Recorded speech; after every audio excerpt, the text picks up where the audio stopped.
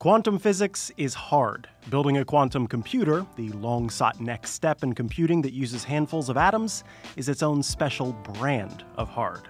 Scientists are experimenting with putting single atoms into a tiny lattice, but it requires a laser precise touch and a quick hand.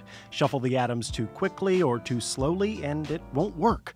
And the mathematical models scientists use aren't great at solving the problem. So, physics researchers in Denmark made a game out of it. In Bring Home Water, players have to strike the fast slow balance themselves. The faster the atom is moved, the easier it is to spill the water. The players thus have to find the fastest way to bring home the atom without losing it. The researchers found players come up with faster, easier ways to complete the experiments than the mathematical models scientists start with. Turning to the crowd can give scientists an extra resource beyond raw computer processing power human intuition.